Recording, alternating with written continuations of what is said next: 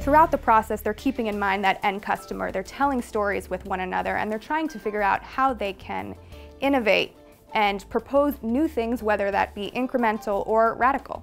Yep, absolutely. And, and, full faith and disclosure, we still are the Project Management Institute. So uh, we utilize that Stanford Design School Foundation.